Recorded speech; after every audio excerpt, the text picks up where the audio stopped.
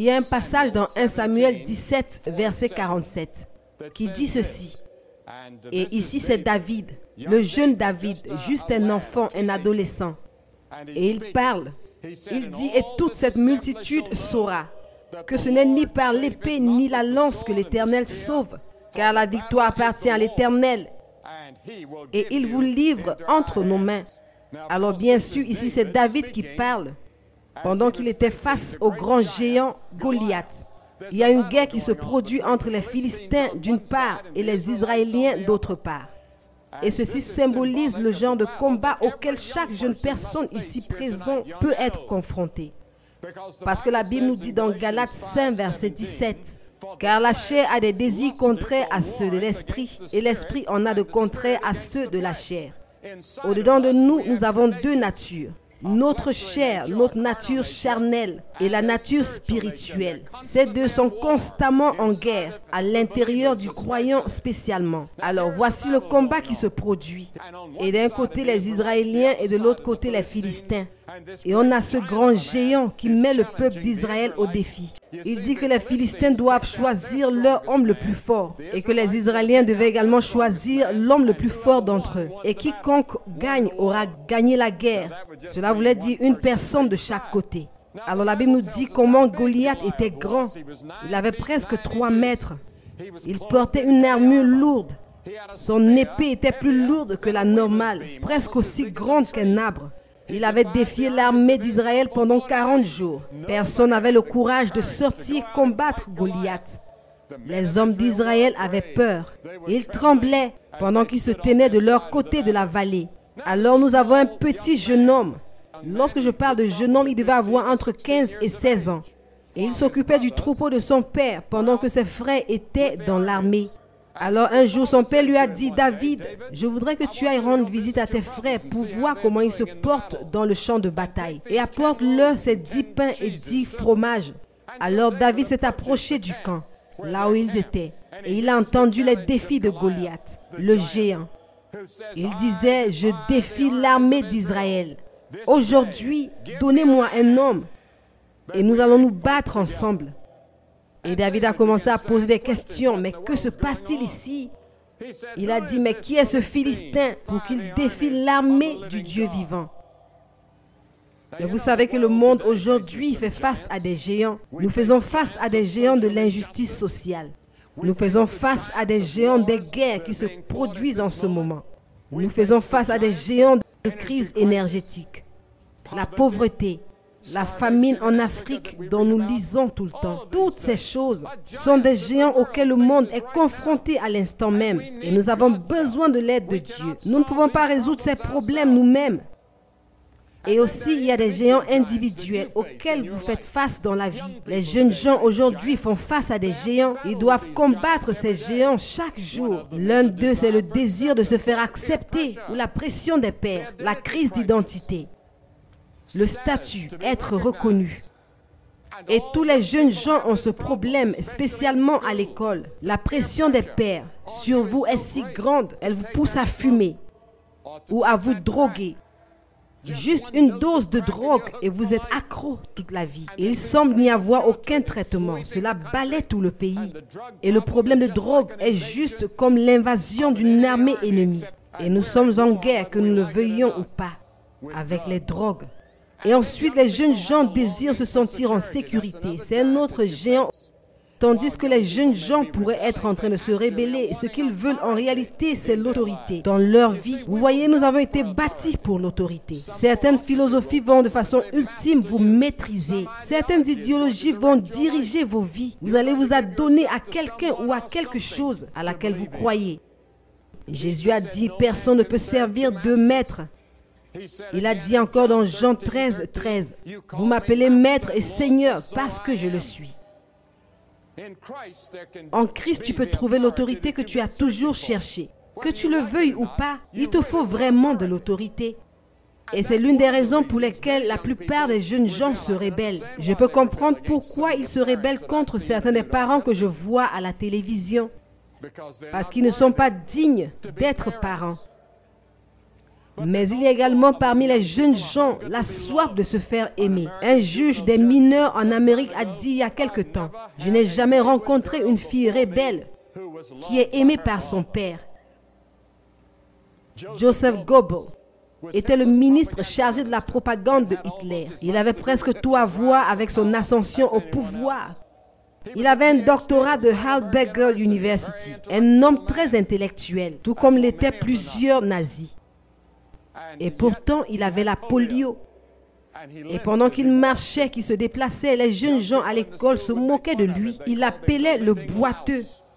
Et les gens ne l'aimaient pas, ils n'étaient pas attirés par lui. Jusqu'à ce qu'un jour, ce petit homme d'Autriche l'a rencontré, a placé sa main sur son épaule, lui a donné une armure et l'a fait se sentir accepté et désiré.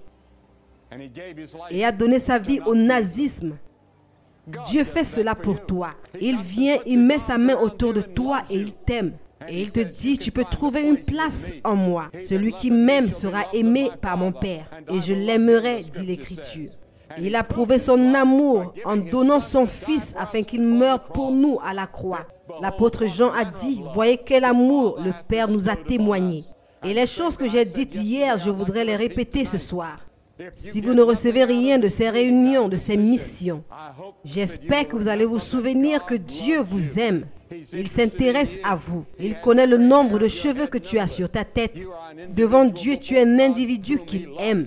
Et si tu étais la seule personne dans le monde entier, son fils serait quand même mort à la croix pour toi. Oui, il peut être l'autorité, il peut être l'amour. Ensuite, il y a un autre géant auquel les jeunes gens font face. C'est le problème de sexe. Une femme de 21 ans, une jolie dame, une étudiante sociable, calme et travailleuse, qui voulait recevoir un peu plus de la vie, tomber amoureuse et fonder une famille un jour. Lorsqu'elle est entrée en relation avec un homme plus âgé, pendant qu'elle avait sa toute première relation sexuelle, l'idée que le sida existe ne lui était jamais venue en tête. La relation s'est terminée il y a déjà deux ans et on a diagnostiqué les symptômes du sida dans son organisme. Au début, a-t-elle dit, j'ai beaucoup contemplé le suicide. Je me suis dit, me voici. Je viens juste de finir à l'université. Je suis sur le point de commencer ma vie et pourtant elle est déjà terminée. Vous voyez, le sexe n'est pas un péché, Certains types de relations sexuelles sont des péchés et certains types de convoitises ne sont pas des péchés parce que la convoitise veut dire désir. Le désir de faire du mieux que vous puissiez n'est pas un péché, mais quand vous désirez quelque chose qui n'est pas bien, vous voyez, l'homme a pris quelque chose qui est bon et l'a corrompu. Et le plus grand don de Dieu a été perverti. Et pourquoi Dieu dit-il, tu ne commettras point d'adultère? Pourquoi a-t-il dit cela? Ne veut-il pas que nous passions des beaux temps? Il le fait afin de protéger les mariages. Il le fait pour protéger ton corps. Il le fait pour te protéger psychologiquement. Parce que voyez-vous, psychologiquement, vous avez ce sentiment de culpabilité et des perturbations émotionnelles et de l'insécurité. Et vous ne vous sentez pas aimé. Comment peux-tu faire face aux géants du sexe? Les jeunes gens d'aujourd'hui les jeunes hommes, ils atteignent le pic entre l'âge de 18 et 22 ans. Et ils ont des désirs sexuels. Pour les femmes, c'est un peu plus tard. Mais ils les ont tous. C'est un don de Dieu. Mais nous l'avons perverti, nous l'utilisons mal. Et maintenant, nous commençons à en payer le prix avec ces maladies terribles et plusieurs autres choses qui sont en train d'affecter plusieurs parties du monde. Comment peux-tu faire face à ce géant, ce désir, cette pression que tu as et toujours rester vrai devant Dieu et rester propre et pur? Il n'y a pas de moyen, pas dans ces temps modernes, à moins que tu n'es Christ dans ton cœur. Lui qui peut te donner une puissance surnaturelle pour résister et dire non et rester pur et pratiquer la chasteté.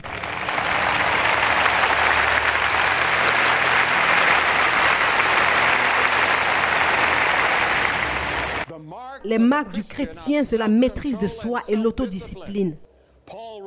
À Timothée, Paul a dit, garde-toi pur. Il a dit, fuis les passions de la jeunesse. Et à son propre sujet, il a dit, mais je traite durement mon corps et je le tiens assujetti. Tu peux aussi le faire avec l'aide de Christ. S'il est ton maître et ton Seigneur, tu peux contrôler cette puissante énergie que tu as. Quelqu'un m'a demandé pourquoi Dieu nous a-t-il donné le sexe. Et j'ai dit, je ne serais pas ici s'il n'y avait pas de sexe. Et vous non plus. C'est un don de Dieu, mais dans le mariage, dans certains paramètres, et nous sommes censés garder ces paramètres-là. Il n'y a aucune joie, aucune sensation, aucun amour, aucune excitation et aucune passion comparable au sexe au sein du mariage. Le sexe dans le mariage entre deux croyants, c'est une chose merveilleuse. Oui, il y a des forces spirituelles du mal dans le monde. Il y a des forces spirituelles du bien dans le monde. Et d'un côté, il y a Dieu. Et de l'autre côté, les tentations du diable, Satan. Et il y a un grand combat qui se produit dans notre monde. Et ce combat se produit au-dedans de toi aussi. Et il n'y a qu'un seul moyen de résister aux géants et de conquérir l'ennemi. Alors vous devez noter que David n'avait pas d'expérience, n'avait jamais été dans un combat. Il n'avait aucun avantage parce que Goliath le géant portait une armure.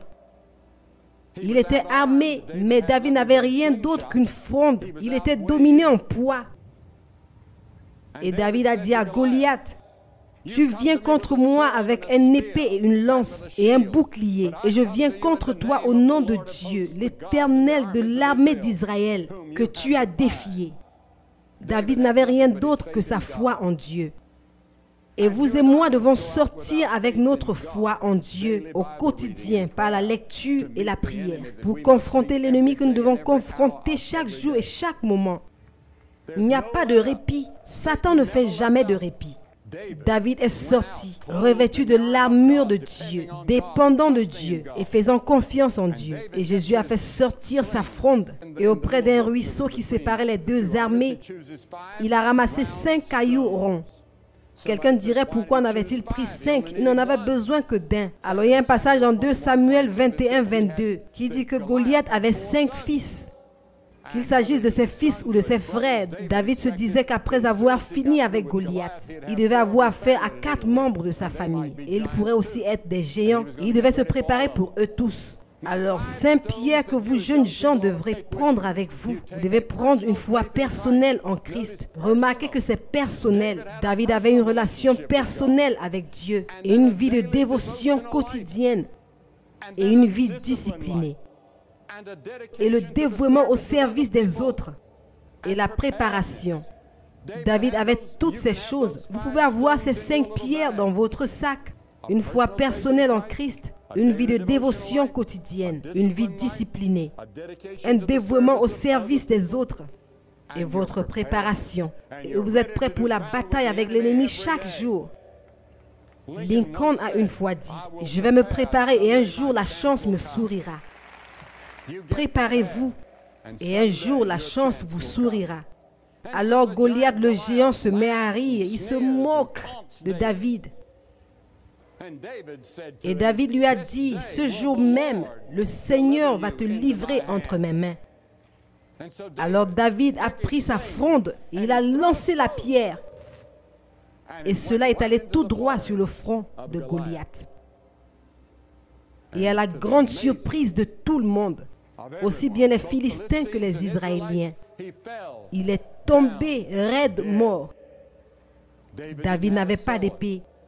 Alors il s'est approché du corps de Goliath, il s'est saisi de son épée, il a coupé sa tête, il l'a tenu dans ses mains, il l'a ramené dans le camp de l'armée des Israéliens. Et les Israéliens ont commencé à poursuivre les Philistins. Les Philistins se sont enfuis et ils ont remporté la victoire ce jour-là. Parce qu'un jeune homme a eu la foi de croire en Dieu et de savoir que Dieu pouvait tout faire. Et ce jeune homme s'était préparé dans sa jeunesse. Il avait pris la décision en tant que garçon de servir Dieu à tous les prix. Il a pris la décision de méditer sur Dieu nuit et jour. Il a pris sa décision de vivre pour Dieu, de mener une vie de pureté devant Dieu, dans la force de Dieu. Il savait qu'il n'avait pas de force, mais il savait qu'en se soumettant à Dieu, Dieu allait lui donner la force. Et de la même manière, tu ne peux pas confronter les géants tout seul. Tu as besoin de Christ et tu peux recevoir le Christ dans ton cœur ce soir. Ou alors tu peux lui redédier ta vie ce soir. Je vais te demander de le faire. Hier, nous avons vu 1500 personnes faire ce que je vais vous demander de faire maintenant. Je vais vous demander de vous lever de votre chaise et de venir vous tenir ici devant. Et en venant, dites-vous, j'ouvre mon cœur à Christ comme Seigneur et Sauveur. Je veux qu'il pardonne tous mes péchés passés. Je veux le recevoir dans mon cœur maintenant. Je veux le suivre et le servir. Je veux être un David là où je suis. Tu peux être un vieil homme, tu peux être un jeune homme, une jeune femme, un père, une mère, une jeune personne. Lève-toi et viens. La Bible dit, maintenant c'est le temps. Aujourd'hui c'est le jour du salut. Plusieurs d'entre vous n'auraient plus jamais l'opportunité d'être aussi proche du royaume de Dieu. Ça c'est ton moment.